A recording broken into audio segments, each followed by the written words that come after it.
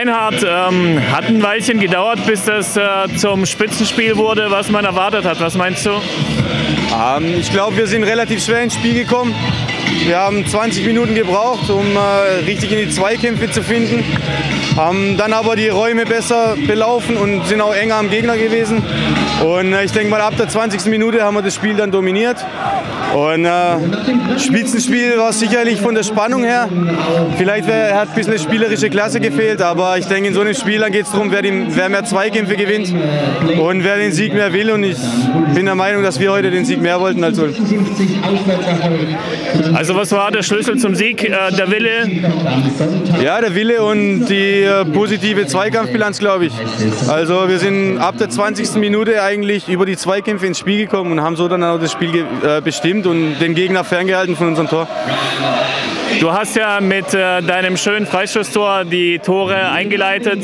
Äh, kannst du ein paar Worte dazu sagen, wie du das gemacht hast? Ja, ich habe es gar nicht richtig gesehen. Ich wollte den Ball einfach scharf auf einen langen Pfosten ziehen und äh, ich stand an die Unterkante der Latte, an den Innenpfosten und ob er dann auf die Linie oder hinter die Linie gesprungen ist, habe ich gar nicht richtig gesehen von meiner Position. Aber ich bin froh, dass der Schiri das Tor gegeben hat und verdient der Sieg. Die Ulmer waren heute ziemlich angefressen nach dem Spiel, haben sich über unfaire ähm, Sachen von euch beklagt. Äh, was meinst du dazu? Ja, ich denke, das ist ganz normal. Also, wenn Ulm geführt hätte, hätten sie sicher auch das ein oder andere Mal auf Zeit gespielt und das ist ganz normal. Ähm, auf der anderen Seite ist das Verhalten vom, von einigen Spielern vom SSV Ulm dann hinten raus ähm, diskutabel gewesen, finde ich. Also, da hätte schon die ein oder andere rote Karte für einen der Ulmer, äh, hätte Schiri eine Karte ziehen können meiner Meinung nach.